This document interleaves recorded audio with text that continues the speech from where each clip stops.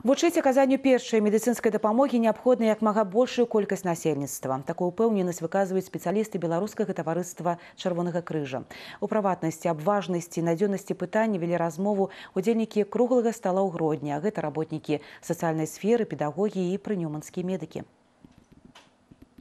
Первая помощь – это та помощь, которую может оказать любой э, человек, независимо от возраста, социального статуса, образования. И это очень важно, потому что несчастные случаи, какие-то травмы происходят с нами зачастую в бытовых условиях. Это может быть э, просто прохожие, это дорожно-транспортное происшествие. И часто жизнь и здоровье людей зависит от того, кто находится рядом, а никак э, не от медицинских работников.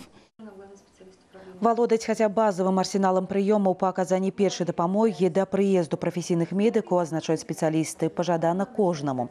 Такі ўменні могуць спатрэбіцца ў розных сітуацыях. Пры гэтым чалавеку важна не разгубіцца і правільна дапамагчы пацярпеламу.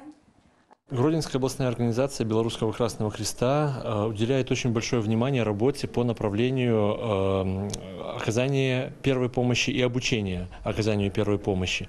Наши инструктора и тренера э, действуют во всех районах Гродненской области и обучают население навыкам оказания первой помощи.